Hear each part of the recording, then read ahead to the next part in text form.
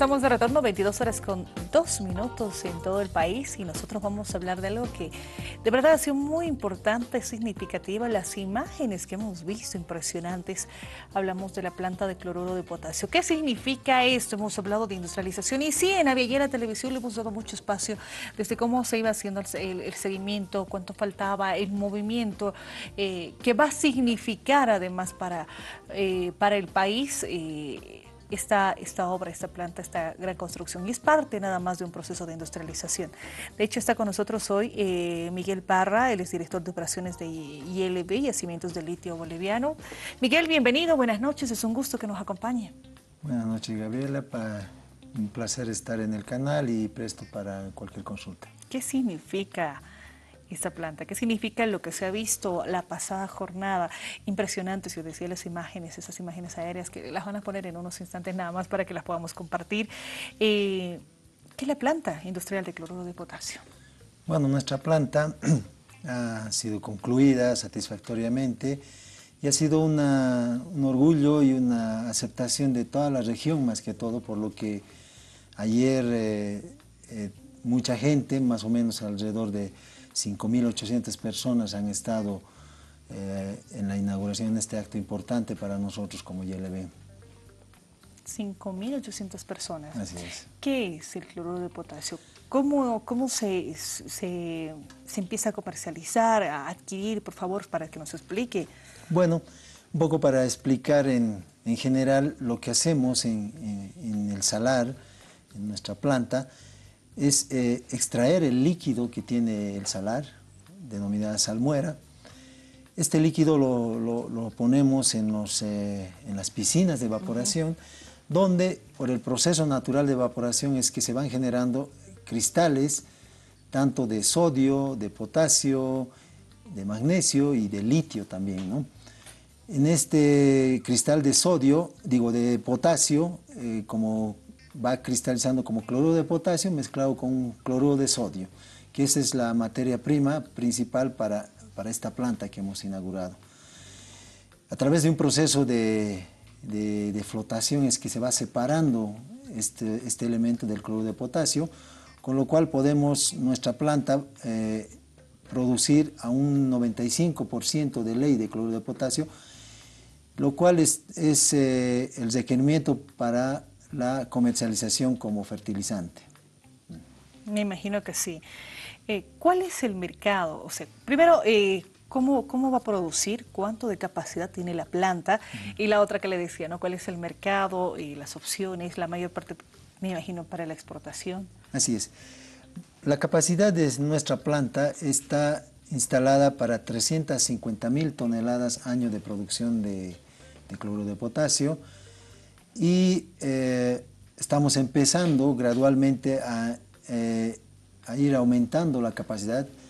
¿no? Ya se ha hecho a través de varias pruebas durante unos tres meses atrás, se ha ido haciendo ya pruebas de, operación de nuestra planta y actualmente, como se ha visto ayer, ya está produciendo nuestra planta, por lo que incluso se ha mostrado en, en imágenes la cantidad de producida de alrededor de 2.000 toneladas ya producidas con nuestra planta y la producción va a continuar. En los mercados a los que eh, estamos, eh, hemos tenido ofertas de, compra, ha sido más que todo al mercado brasilero.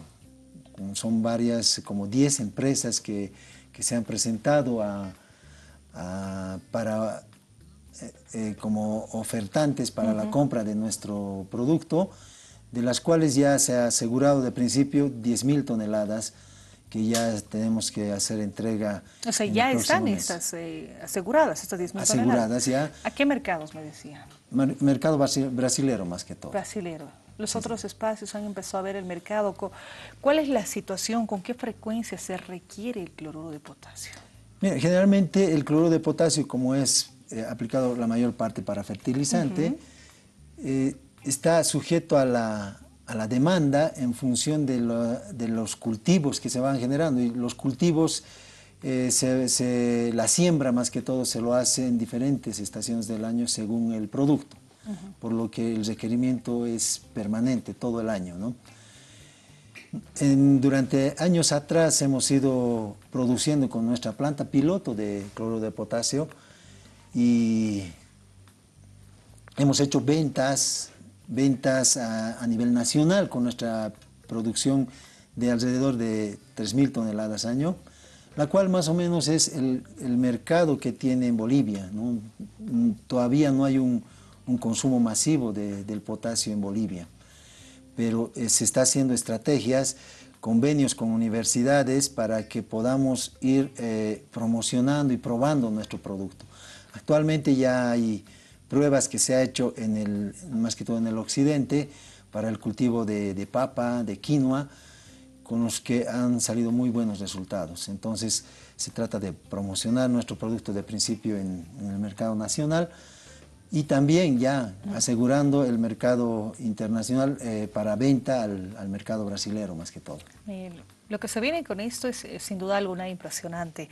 Ahora, esto es solo una parte ¿no? de, la capacidad que tiene, por ejemplo, el salar, lo que tenemos en Uyuni. Miren, sí, eh, aparte que eh, este es un objetivo con el cual hemos, hemos logrado cumplir para la producción de cloruro de potasio, pero también viene la segunda etapa que es la la construcción y la producción de la planta de carbonato de litio.